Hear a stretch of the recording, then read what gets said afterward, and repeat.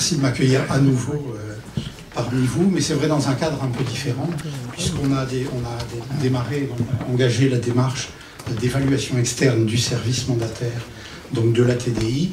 Et c'est vrai que j'ai été très intéressé par le thème qui était proposé, hein, parce qu'à la fois je trouve le, sujet euh, de l'argent entre contraintes et liberté vraiment un sujet qui est au cœur vraiment au cœur de, ce qu'est hein, le, travail d'évaluation, et aussi sur la, logique de travail qui est proposée, c'est-à-dire d'avoir toutes les parties prenantes qui s'expriment, c'est-à-dire à la fois les familles, les personnes accompagnées, les professionnels, les partenaires. Et c'est vrai que ça s'inscrit très bien dans la logique d'évaluation des structures, qui souvent, alors je ne vais pas parler euh, de manière trop complexe de, ça, mais qui est souvent confondue avec les démarches de contrôle ou les démarches d'audit.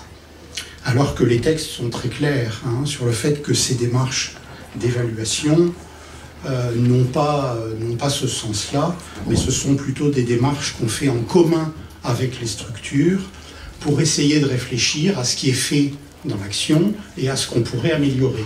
Hein. c'est ça le sens général. Et c'est vrai que je trouve important, je vais essayer d'expliquer un petit peu aux citoyens que nous sommes tous, ce qu'on fait dans ces démarches, parce que c'est évidemment important et ça porte un, changement euh, assez important par rapport à ce qui se faisait avant. Donc juste pour redire, depuis 2002, toutes les structures qui font de l'action sociale, et elles sont très nombreuses hein, dans, dans leurs activités, sont obligées de faire euh, à une périodicité régulière une évaluation externe avec un tiers. Je le redis, qui n'est pas un contrôle, hein, les textes sont très clairs là-dessus, mais bien un travail commun. Ce qui est intéressant, c'est que c'est une démarche de coopération entre un organisme, une structure et un organisme extérieur, mais qui porte plusieurs significations et qui sont importantes. La toute première, c'est que euh, cette obligation d'évaluation, elle rappelle que la relation, par exemple, entre euh, le délégué et la personne accompagnée, c'est pas une relation duelle à deux, c'est bien une relation qui s'inscrit, c'est pas une relation privée, c'est bien une relation qui s'inscrit dans un cadre social plus large, avec un mandat, avec un certain nombre de règles, hein, euh, et, il faut en rendre compte.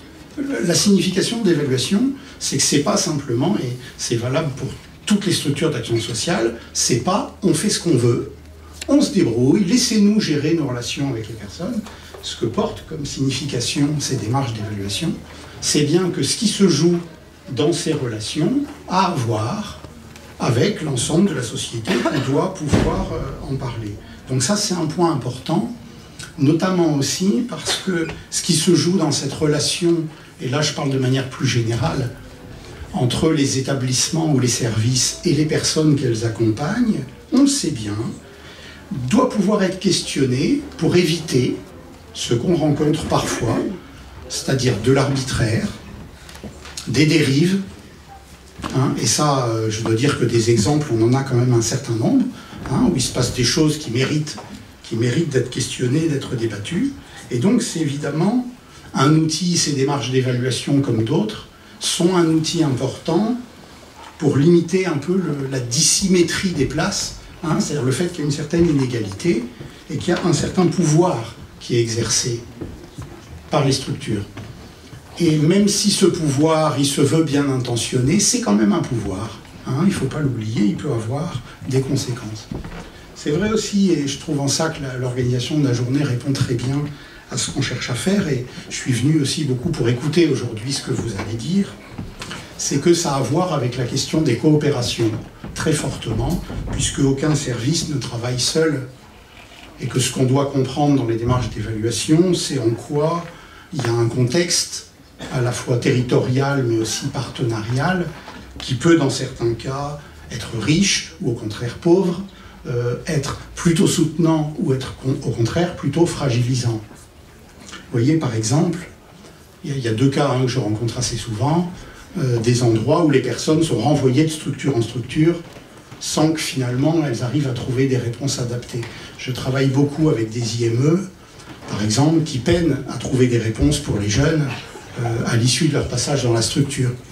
Et on voit bien que ça a évidemment une conséquence importante hein, sur ce que euh, vit la structure. Deuxième point concernant ces démarches, Et ça, je voudrais insister là-dessus. Pardon. Et si je termine sur les, coopérations, ça veut dire aussi que dans la démarche d'évaluation, je contacterai un certain nombre des partenaires pour qu'ils puissent nous dire bah, comment on travaille avec la TDI, en quoi ces coopérations sont satisfaisantes. Je suis perturbé, je viens de voir passer le Paris Saint-Germain. tant que parisien, je suis un peu, surpris.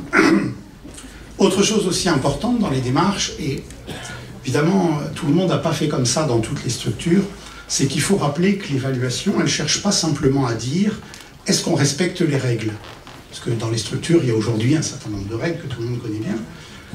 L'idée, c'est quand même, et ça c'est vraiment très important à retenir, de questionner qu'est-ce qu'on produit comme effet?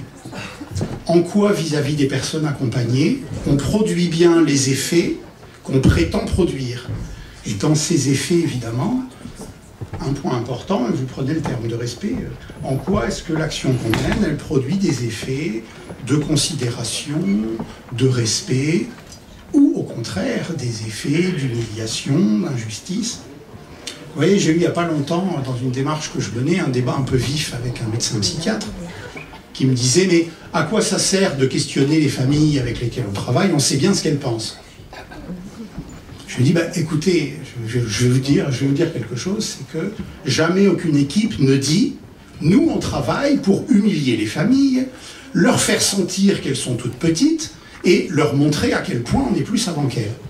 Or, quand on interroge les familles, c'est ce qu'un certain nombre nous disent.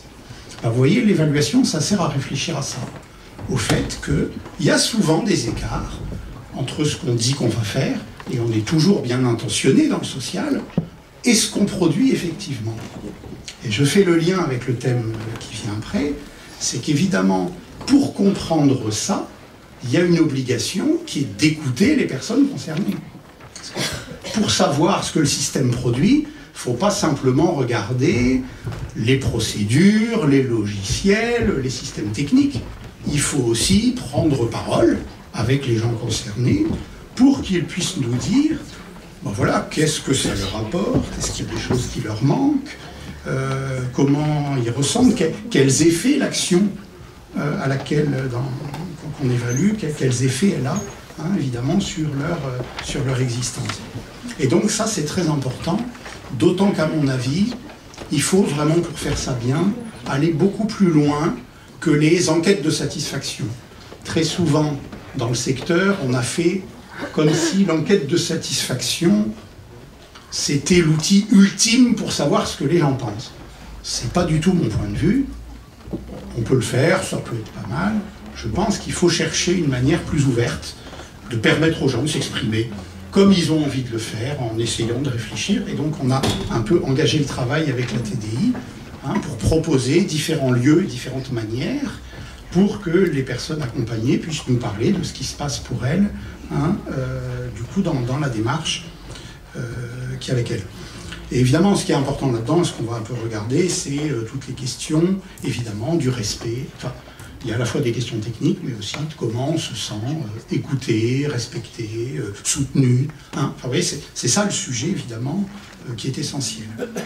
Souvent aussi, et c'est pour ça que j'ai bien aimé euh, le, thème, c'est qu'on rabat un peu les questions aussi à la question des droits. On dit c'est le respect des droits des usagers. Mais ça, c'est, à mon avis, c'est pas tout à fait juste parce que la question est toujours plus complexe dans l'action sociale. Et notamment, elle est plus complexe puisqu'il y a toujours, en fait, un débat compliqué entre deux impératifs qui sont à la fois de respecter la liberté, l'autonomie des personnes, mais en même temps de les protéger. Parce que, euh, justement, quand on parle du besoin de protection, le problème, c'est bien ce réglage. Vous voyez, on l'a dans des structures avec des personnes âgées qu'on a tendance à enfermer pour pas qu'elles se perdent. On peut l'avoir dans des structures pour personnes en situation de handicap où pendant longtemps on a bridé la vie affective et sexuelle euh, par peur, hein, par crainte. Enfin, on voit bien, c'est bien le réglage hein, entre la crainte et la protection qui est en question. Et souvent, on voit bien que euh, le risque amène à ce qu'on limite la liberté. Mais en même temps, il ne faut pas oublier le besoin de protection. Et justement, euh, quand on parle de l'argent, c'est que l'argent, il attire les prédateurs. Je parlais hier avec, euh, une responsable de la caisse d'épargne qui va intervenir tout à l'heure, qui m'expliquait que, évidemment, les personnes accompagnées peuvent être l'objet d'un certain nombre de manœuvres hein, pour obtenir quelque chose. Et même si elles n'ont pas beaucoup d'argent, euh, même pas beaucoup, ça peut attirer euh, des gens mal intentionnés. Hein. Le pognon, ça intéresse tout le monde. Et d'autant qu'il y, a, bon, y a des prédateurs, je dirais, un peu délinquants, mais il y a aussi les prédateurs institutionnels ou les prédateurs commerciaux. Hein. Aujourd'hui, par exemple, et je pense que dans la protection, il y a aussi le fait de protéger les gens contre la complexité du marketing, etc. Par exemple, les histoires de téléphone, c'est à devenir dingue. On ne sait jamais ce qu'on paye, on ne comprend rien à ce qu'on signe. On est quand même dans un monde. Moi-même, j'aurais besoin d'être protégé sur certains plans. Parce que, je pense que pour tous, ce n'est pas quelque chose de très facile. Et donc, ce qui compte, hein, ce n'est pas simplement dire est-ce qu'on respecte les droits. Ça, je dirais, Enfin, il faut y veiller, mais c'est souvent plus complexe comme question. Hein. c'est comment on regarde bien cette tension entre les deux. Et du coup, euh, c'est ça qui est très intéressant pour moi hein, dans le travail avec un service mandataire, qui s'intéresse à l'argent. Parce que dans le reste des pratiques sociales, la question de l'argent, on la gomme, on en parle très peu. Je peux vous dire, je participe à plein de, plein de choses, plein de réflexions. Souvent, l'argent, ça n'existe pas on n'en parle que quand on a l'impression qu'il n'y en a pas assez dans la politique publique. Oui, mais pour le reste, c'est une question qui est très neutre. Or, c'est très important, hein, je pense que vous allez explorer aujourd'hui, donc je vais faire un peu quelques remarques. Euh, d'abord, c'est que quand on parle des personnes en situation de handicap comme en insertion, c'est que l'argent, c'est toujours ce qui manque. Parce qu'il n'y en a pas beaucoup. Et ça a une conséquence évidemment très forte, hein, c'est que être un peu dans le manque, c'est que ça oblige à réfléchir très fortement sur les choix. Et donc la question du choix, elle prend beaucoup d'importance. Et du coup, il y a un risque qui est d'avoir une vision très fonctionnelle ou très rationnelle de l'argent et de l'utilisation que les personnes devraient faire de l'argent. Voyez, euh, j'ai plein d'exemples hein, où, on voit ça. L'exemple dans un foyer dans lequel je travaillais, le tuteur refuser d'augmenter alors quelque chose comme de 20 euros toutes les semaines l'argent de la personne, alors qu'il avait des économies supérieures aux économies de tous les gens autour de la table. Moi compris. Hein on se disait, mais enfin, qu'est-ce qui justifie Qu'est-ce qui justifie ça hein euh, C'est quand même évidemment euh, important. Mais c'est vrai aussi que l'argent, et ça c'est valable à mon avis pour euh, les, délégués et pour tout le monde, ça renvoie à des choses très intimes on va en parler. Hein. On n'est pas tous du tout identiques dans notre rapport à l'argent, hein, entre les fourmis et les cigales. Moi, j'avais une amie, elle avait un truc qui m'avait frappé, je trouvais ça assez chouette, hein, je m'en suis inspiré. Elle me disait Chaque fois que j'ai un découvert, je me fais un cadeau.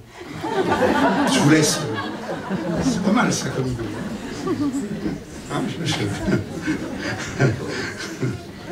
c'est intéressant, alors qu'il y en a, ils ont peur. Enfin, voilà. J'élève un garçon, il a toujours peur de manquer. Je ne sais pas d'où ça lui vient. Mais dès qu'on fait quelque chose, je dis, ça va nous manquer, mais il faut vivre aussi. Ah, pas D'accord, pas dépenser, manger, ça coûte, mais euh, enfin, on est quand même là aussi pour vivre. Et donc, et du coup.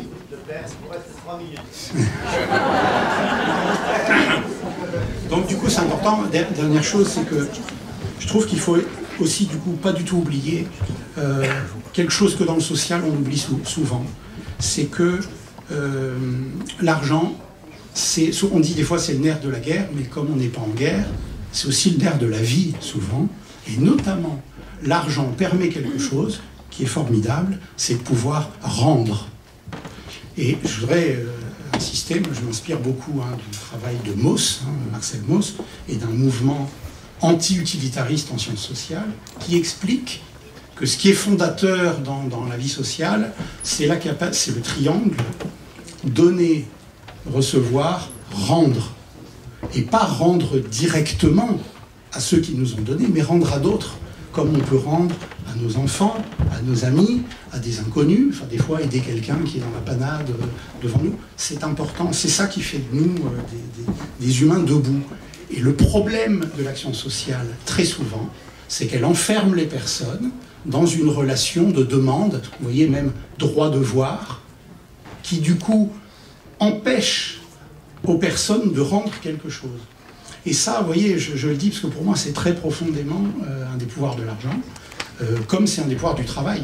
Quand on travaille, quel que soit le boulot qu'on fait, on rend quelque chose à quelqu'un. Euh, moi, je bosse souvent dans des ESAT, je vois bien la fierté qu'on a tous en voyant le boulot qui est bien fait, les trucs qui sont rendus, etc. Et donc, le risque, c'est d'avoir effectivement une vision de l'argent, uniquement de l'argent comme outil de subsistance minimal, où il faut tout calculer, tout rationaliser, alors que l'argent, c'est aussi l'outil d'une certaine forme d'accomplissement hein, personnel, enfin, voilà, de ce qu'on a envie d'être comme personne, euh, de là où on est, hein, c'est ce qui nous permet euh, d'opérer ça. Et donc voilà, et pour finir, hein, je, note la consigne euh, de Serge, ce qui est vraiment intéressant dans ce thème de l'argent, c'est qu'il est vraiment au carrefour. Je suis dans les clous, tout va bien. suis la fin. ce qui est intéressant dans le thème de l'argent, euh, c'est qu'il est au carrefour de plusieurs univers. C'est-à-dire c'est à la fois l'univers de l'intime, l'argent c'est aussi la relation avec nos parents, avec nos enfants, avec nos conjoints, euh, etc. Hein, avec aussi euh, le social, hein, avec les amis, avec la société, avec la consommation. mais c'est aussi un monde très concret, avec des lois, des droits, du calcul, des chiffres. Et donc c'est vraiment intéressant parce que ça nous situe dans quelque chose de très ouvert et très complexe. Et c'est ça qui est intéressant quand on aime réfléchir.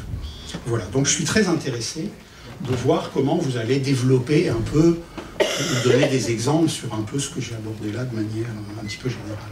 Merci.